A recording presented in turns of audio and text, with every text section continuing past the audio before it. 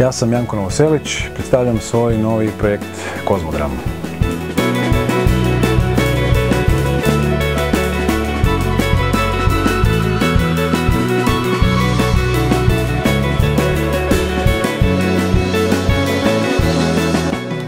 Novi album Kozmodrama snimljen je u studiju Kramasonic 2014. godine.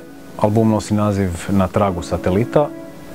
Na albumu su sudjelovali glazbenici Ivan Kapec, Elvis Penava, Hrvoje Galer i Goran Delač, a producentsku palicu drži Hrvoje Nikšić.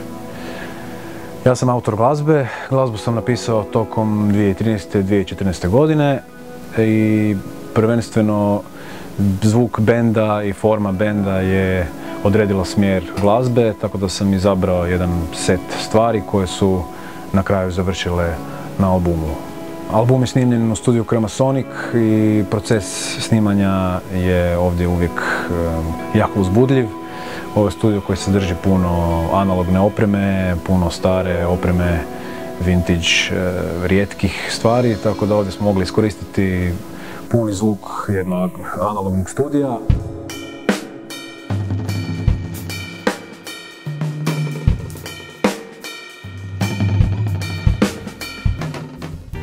Jel Kozmodram?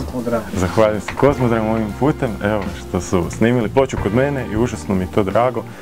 I nekako osjećam dečke svojima, jer surađujemo dugi niz godina i kad razmišljam o njima gledam ih sve ove godine kako im raste ovaj, i raste u sviračkoj dinamici i ideje i zvuk i sve i baš volim nekako onda e, misliti isto možda se i meni to dešava. To su muzičari zapravo u studiju gdje je situacija stvarno idealna i gdje se svako bavi samo sa sobom i sa svojim zvukom, a onda ja gledam da, da nekako uspijem to snimiti, bar tako kako je, ili možda malo lošije. Ovdje je stvarno sve lijepo funkcioniralo i što sam rekao, ono, ploča je snimljena u dahu, a, poslije smo onda pokušali stvarno taj performans ono, u, što boljem svjetlu, ovaj, ajmo reći u miksu prikazati i otišli smo još i dalje i meni je to užasno drago ja za ovu ploču nekako osjećam za ovu godinu i za ovo neko razdoblje i za ovo što ja radim, da je to neki baš ono kapitalni rad, da je to jedna stvar koju mogu reći, evo, to je to. Nekom se može to sviđati stilski ili ne, ali mislim da smo stvarno uh, jedan širok dijapazon estetski obuhvatili da bi se stvarno ovo moglo svidjeti i ovaj, i, i, i raverima, i rockerima, i džezerima, uh, mislim, mislim da, da je zanimljivo pa evo poslušanje.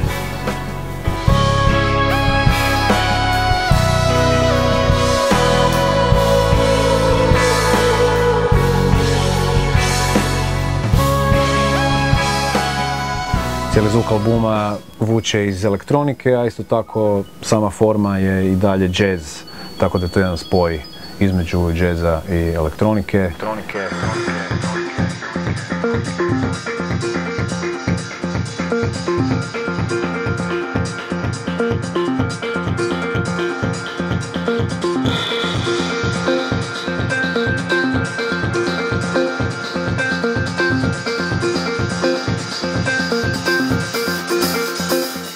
Nadam se da ćete uživati u albumu kao što smo mi uživali u produkciji. Thank you.